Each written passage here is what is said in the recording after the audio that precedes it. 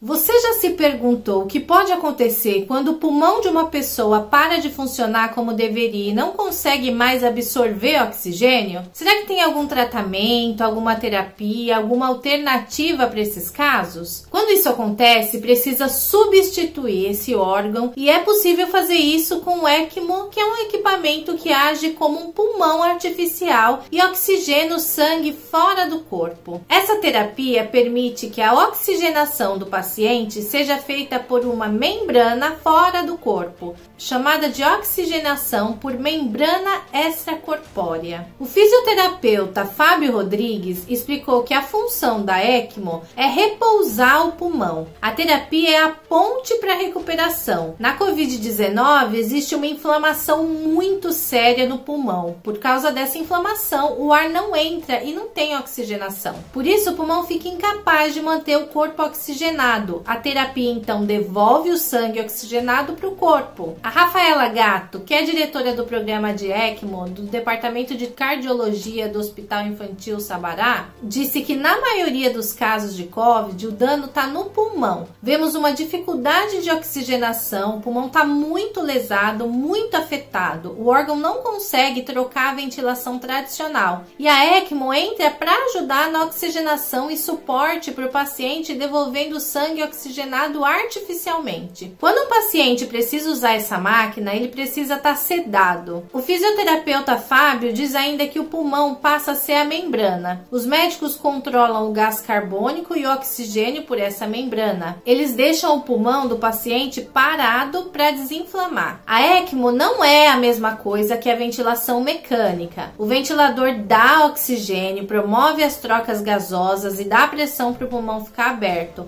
mas ele ele não substitui o pulmão. Ele vai favorecer a fisioterapia e a recuperação do pulmão, mas esse suporte tem um limite. E quando o ventilador não consegue fazer o pulmão funcionar bem, se o pulmão está lesado e não consegue fazer mais essa troca de oxigênio, a ECMO é indicada para esses casos. As trocas dos gases vão ser controladas pela máquina, explica a cardiologista Rafaela. E a ECMO já existe há anos. Coloca aqui nos comentários se você já tinha ouvido falar dessa terapia. De acordo com o registro da Elso, a ECMO foi usada em mais de 5 mil casos em 2014. Já foi muito usada em 2009 por causa da H1N1. A cardiologista disse que em 2009 a terapia voltou a ser falada e consolidada, e agora com a Covid de novo. A terapia pode ser de dois tipos: Venovenosa, que é usada em pacientes com insuficiência respiratória. O sangue é retirado de uma veia central, passa pela membrana extracorpórea, onde é realizada a troca gasosa e volta para uma veia central. Essa é a terapia que está sendo usada nos casos de Covid-19 e também no ator Paulo Gustavo. E o outro tipo é a veno arterial, que é usada em casos de insuficiência cardíaca. Dá tanto suporte respiratório como circulatório. O sangue volta para o sistema arterial e dá suporte hemodinâmico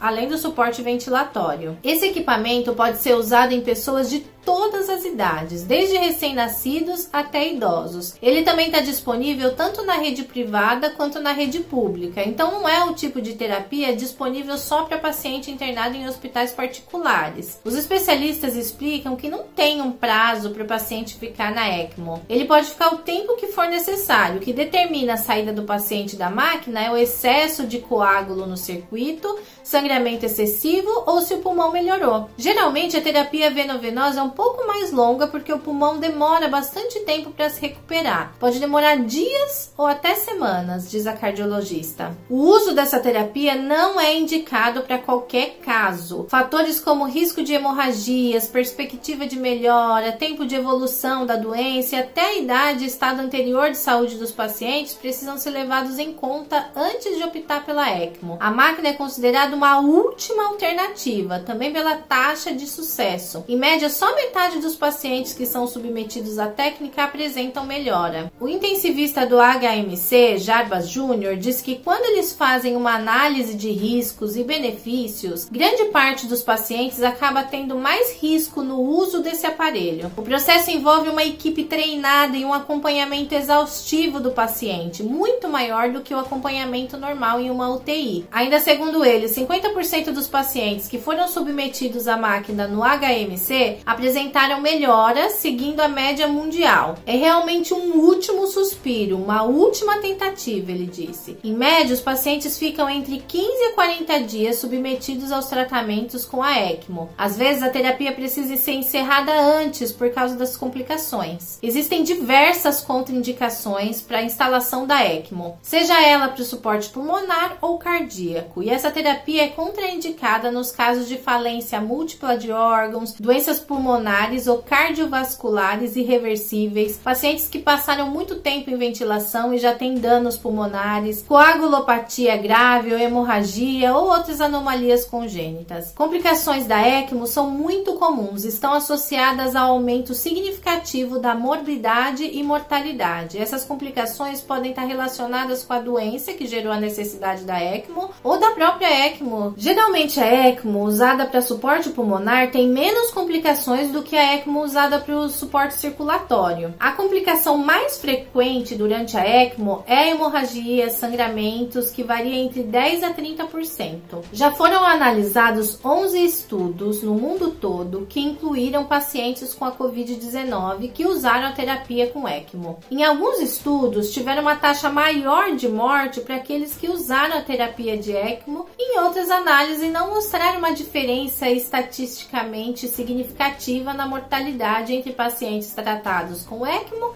e com a terapia para Covid padrão. Então, a conclusão desses estudos foi que não tem ainda evidências claras do benefício do uso do ECMO em pacientes com Covid-19 até agora. Um dos casos de sucesso do tratamento aconteceu em Curitiba com o professor de Química Robert Jr., que foi relatado no site Gazeta do Povo. Ele disse: A ECMO foi o que me salvou, respirando por mim por sete dias seguidos. Aos 31 anos e com uma série de fatores de risco para a doença, doença como hipertensão, pré-diabetes e obesidade, ele contraiu a Covid-19 em dezembro e no dia 21 teve que ser internado. Com 50% de comprometimento pulmonar, ele foi transferido para UTI e logo em seguida foi entubado. Mesmo depois de seis dias no respirador, ele não melhorou. Então ele precisou usar ECMO. Ele teve complicações depois de sete dias na máquina, tiveram que fazer uma pausa de emergência. Aí o Robert acordou do coma no dia 8 de janeiro, mas só recebeu alta hospitalar depois de 36 dias no hospital. Ele disse que os seus pulmões agora estão 100%, mas que ele segue com as sessões de fisioterapia e acompanhamento com os médicos buscando recuperar os movimentos de partes do corpo que ficaram comprometidas depois de ficar tanto tempo inconsciente. Espero que você tenha gostado desse conteúdo nesse período que a gente está vivendo de pandemia. Toda informação é importante para a gente ficar dentro do que está acontecendo e ter mais conhecimento. Isso também faz parte do nosso desenvolvimento desenvolvimento e crescimento pessoal, que é do que se trata esse canal. Inclusive, já se inscreve aqui se você ainda não é inscrito e clica no sininho para não perder nenhum vídeo. Eu sou a Paula Bernardes